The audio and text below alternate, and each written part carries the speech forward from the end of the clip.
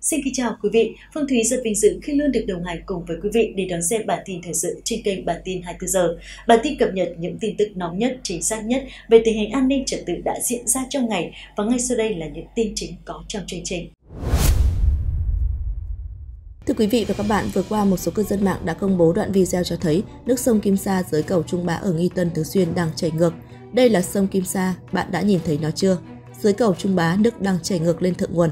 Đây là lần đầu tiên tôi nhìn thấy nó, thật đáng sợ. Sông Kim Sa là thượng nguồn của sông Trường Giang, là nơi khởi nguồn của sông Kim Sa, cũng là nơi khởi nguồn của sông Trường Giang.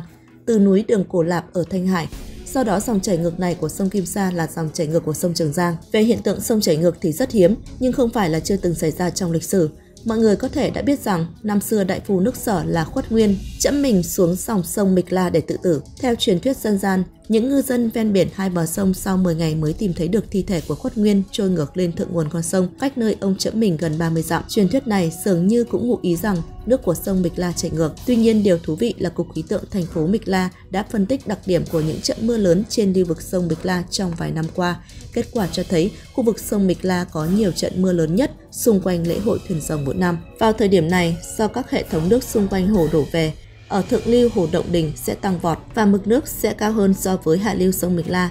Lúc này một lượng lớn nước hồ và thậm chí nước sông Trường Giang sẽ chảy ngược vào sông bịch La, nên sông bịch La vốn đổ vào hồ Động Đỉnh theo chiều từ đông sang tây sẽ có hiện tượng sông chảy ngược kỳ lạ. Nói một cách khác, nguyên nhân chính dẫn đến sự chảy ngược của sông bịch La có thể do những trận mưa lớn đã làm cho nước sông dâng cao. Nhìn vào lượng mưa ở Thanh Hải, ở đầu nguồn sông Kim Sa, Hóa ra tỉnh Thanh Hải đã trải qua những trận mưa lớn có thể khiến nước sông dâng cao, tạo thành dòng chảy ngược như sông Bịch La. Ngoài ra trong Hán Thư cũng có ghi lại rằng vào thời cuối Tây Hán xuất hiện nước sông chảy ngược do động đất và lở đất. Nói cách khác, dòng chảy ngược của sông Kim Sa cũng có thể là do sự bất thường của các hoạt động ngầm làm thay đổi hướng của dòng sông. Tất nhiên cũng có một lý do mà nhà khoa học hiện tại chúng ta vẫn chưa giải thích được. Tuy nhiên, bất kể là lý do gì, Dòng chảy ngược của sông là một dị tượng hiếm gặp, nhưng tại sao lại có dòng chảy ngược của sông Trường Giang trong năm nay khi thiên tai thường xuyên xảy ra? Người Trung Hoa cổ đại đã nói về thiên nhân cảm ứng, mặc dù Đảng Cộng sản Trung Quốc đã chống trời đầu đất, nhưng nó không thể thay đổi được thực tế và sự tồn tại của thiên nhân cảm ứng. Hiện tượng nước sông chảy ngược ngày nay có thể là một lời cảnh báo từ thượng thiên. Trong lịch sử vào năm mà sông Bịch La chảy ngược,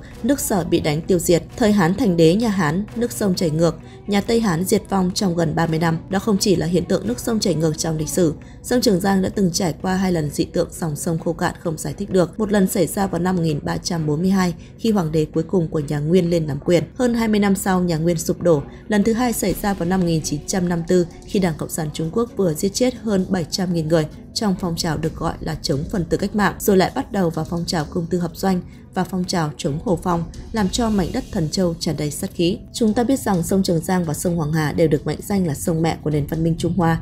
Sông Trường Giang được coi là long mạch của đất Trung Hoa. Hiện nay còn có hiện tượng chảy ngược ở đầu nguồn sông Trường Giang. Liệu có phải dấu hiệu của một thảm họa lớn hay là những biến cố lớn sẽ xảy ra đối với Trung Quốc? Mặt trăng máu ở Hà Nam xuất hiện tại Hạc Bích và Tân Mật và một số nơi khác. Đó đều là những nơi bị ảnh hưởng nặng nề nhất bởi lũ lụt ở Hà Nam. Một số cư dân mạng đã chụp lại ảnh mặt trăng máu đỏ rực trên bầu trời đêm trông rất quái dị. Người xưa tin rằng trăng máu là điểm đại hung. Sách dịch yêu chiêm do kinh phòng viết vào thời Tây Hán có đề cập, nếu trăng đổi màu sẽ có tai họa và màu đỏ là đấu đá và chiến tranh. Cuốn sách cũng nói rằng mặt trăng đỏ là hình tướng trí âm, trí hàn. Điều này chỉ ra rằng người thế gian chính khí yếu, tà khí vượng, oán khí thịnh, lệ khí cường, thiên hạ hỗn loạn, và ngọn lửa bùng lên khắp mọi nơi. Trong sách Thiên văn Kinh Châu Chiêm có Lưu Duệ viết vào thời Đông Hán có nói đến mặt trăng đỏ như gạch non, tướng sẽ chết ở nơi hoang dã, mặt trăng đỏ như máu sẽ có vua chết. Nghĩa là nếu mặt trăng có màu đỏ nâu thì tướng quân sẽ chết, còn nếu mặt trăng đỏ như máu đó là dấu hiệu của hoàng đế sắp chết. Phải chăng dị tượng trào máu này ở Hà Nam chỉ ra nội chiến của Đảng Cộng sản Trung Quốc đang gia tăng và lãnh đạo của Đảng Cộng sản Trung Quốc đang gặp nguy hiểm? Hãy cùng xem nhà lãnh đạo của Đảng Cộng sản Trung Quốc ông Tập Cận Bình đang bận rộn với những việc gì. Lần này Hà Nam bị ảnh hưởng bởi lũ lụt rất nặng nề, nhưng ông Tập Cận Bình đã đến Tây Tạng. Tuy nhiên trong một đoạn video, ông Tập Cận Bình cùng nhóm người của ông ta được những người dân địa phương đổ ra đường để đón tiếp, trông giống như đưa tiễn một chiếc xe tang trên phố người Trung Quốc rất coi trọng điểm báo, cảnh đón tiếp như xe tăng này đúng là điểm gở. Trên thực tế, Hà Nam đã có dị tượng trước trận lũ lụt. Ở Tân Hương tỉnh Hà Nam đã có dị tượng tuyết rơi. Từ ngày hôm kia đến ngày hôm nay, một trận mưa lớn ở Tân Hương đã xảy ra bảy hồ chứa cỡ vừa đã tràn nước khiến 60 thị trấn và làng mạc phải hứng chịu thảm họa. Trong số đó có hơn 90 ngôi làng ở thành phố Huy huyện bị ngập nước và nơi sâu nhất ngập là 1,5 mét. Người dân ở Huy huyện tiết lộ rằng lũ lụt hoàn toàn là do xả lũ và lối vào làng bị phong tỏa để ngăn lũ nên dân làng không thể sơ tán và không biết đi đâu. Tuy nhiên khi lũ lụt ở Trịnh Châu xảy ra, những thảm cảnh này vẫn nối tiếp nhau. Sau 5 ngày liên tiếp cảnh báo thời tiết đỏ, chính quyền địa phương vẫn chưa làm tốt công tác cảnh báo phòng chống thiên tai, người dân vẫn đi làm, đi học bình thường. Trận lũ lụt ở Hà Nam lần này đã thực tế chứng minh đó là một thảm họa tự nhiên, còn là một thảm họa do con người tạo ra. Thưa quý vị, ngày hôm qua một cơn mưa lớn đã xảy ra tại huyện Tự Trị Giang Hoa dân tộc Giao Vĩnh Châu của Hồ Nam. Theo thống kê sơ bộ, toàn bộ huyện có tổng cộng 8 thị trấn và 20 thôn bị ngập nước. Trận lũ lụt khiến một quốc lộ bị gián đoạn, 35.000 mẫu thuốc lá sấy và 7.000 mẫu lúa bị ảnh hưởng. Theo thông tin từ tài khoản Weibo chính thức của Giang Hoa cho đến 23 giờ ngày hôm qua, huyện Giang Hoa đã có lượng mưa tối đa hơn 200 mm, 21 trạm mưa trong huyện đã vượt quá mức 100 mm vào lúc 3 giờ 30 phút ngày hôm kia. Địa phương đã khởi động phản ứng khẩn cấp phòng chống lũ lụt cấp 1. Toàn huyện có 8 thị trấn, 20 làng bị ngập nước, hơn 1.000 người đã được di rời. Cây nông nghiệp trồng dọc theo các con sông ở thị trấn như Hà Lỗ Khẩu, Bạch Bang Doanh, Đại Lộ Phô, Đà Giang đều bị ngập lụt. Một số ngôi nhà dọc theo con sông ở thị trấn Đà Giang đã bị ngâm trong nước. Một cây cầu cổ 100 năm tuổi cũng gặp phải lũ lụt. Vào lúc 11 giờ sáng khi nước lũ lên cao nhất, 3 phần tư cây cầu đã bị ngập trong nước bởi vì lũ rất bất ngờ cuốn đến, khiến cho nước sông dâng lên đột ngột. 5 người ở địa phương đã bị mất tích. Ba nhân viên của một công ty xây dựng điện gió ở Hà Lỗ Khẩu đã bị cuốn đi khi đang trên đường trở về ký túc xá. Hai nhân viên của một công ty khai thác mỏ bị mất tích lúc qua sông. Gần đây mưa lớn đã tiếp tục diễn ra ở Quảng Đông.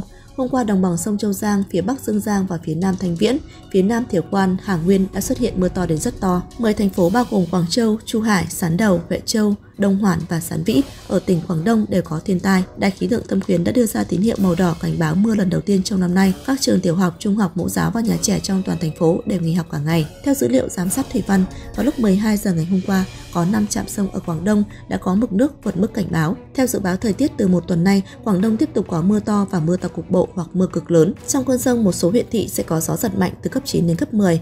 Từ ngày cuối tháng trước đến 9 giờ ngày hôm qua, Quảng Đông đưa ra tín hiệu cảnh báo mưa to 157 lần, trong đó có 73 lần cảnh báo màu đỏ. Tính đến 13 giờ 37 phút ngày hôm qua, vẫn còn 38 huyện thị có hiệu lực cảnh báo mưa to. Kể từ đầu tháng đến nay, hầu hết các huyện ở tỉnh Phúc Kiến đều bị nước mưa xâm nhập, khu vực phía Bắc xuất hiện mưa to, mưa to cục bộ. Theo công bố của Văn phòng phòng chống lũ lụt tỉnh Phúc Kiến, tỉnh Phúc Kiến có 82 thị trấn và làng mạc ở 28 huyện có lượng mưa hơn 50 mm, trong đó có 8 thị trấn và làng mạc ở 5 huyện có lượng mưa hơn 100 mm. Làng Phượng Bộ, huyện Cổ Điền có lượng mưa lớn nhất là 147,7 mm với lượng mưa tối đa trong 1 giờ là 92,7 mm. Bị ảnh hưởng bởi lượng mưa lớn liên tục, tuyến đường sắt Ưng Hạ ở Phúc Kiến có một phần của lục địa đến phần thượng nguồn bị lở núi và nước mưa. Dự báo thời tiết cho thấy toàn tỉnh có mưa to và kèm theo sấm chớp. Tại tỉnh Chiết Giang liên tục xuất hiện mưa lớn do bị ảnh hưởng bởi mưa lớn. Một trận lở đất bất ngờ xảy ra ở thôn Đại Hầu, làng Cửu Hoa, quận Kha Thành, Củ Châu, khiến hơn 100 dân làng đã được sơ tán khẩn cấp. Theo dự báo thời tiết ở Trung Quốc, trong 3 ngày tới, các nơi như đồng bằng sông Châu Giang vẫn còn mưa to hoặc rất to. Các nơi như Giang Nam, Hoa Nam vẫn tiếp tục có mưa lớn.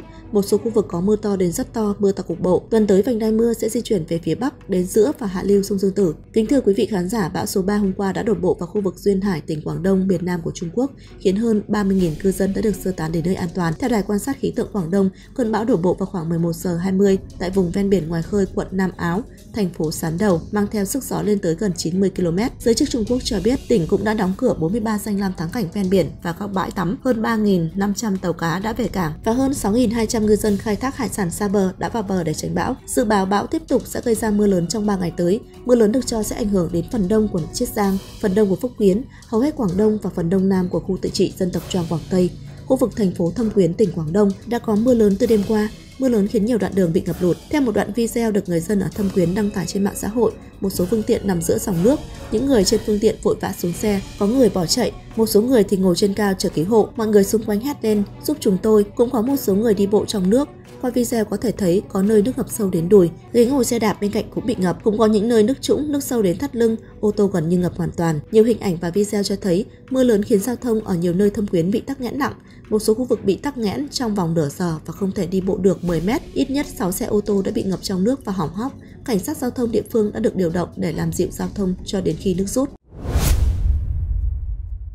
Vừa rồi là những thông tin mới nhất mà chúng tôi mới cập nhật. Quý vị và các bạn cũng đừng quên đăng ký kênh và ấn vào nút chuông để nhận những thông tin mới nhất về video của chúng tôi. Cảm ơn quý vị đã quan tâm và theo dõi. Còn bây giờ, xin chào và hẹn gặp lại trong những video tiếp theo của chương trình.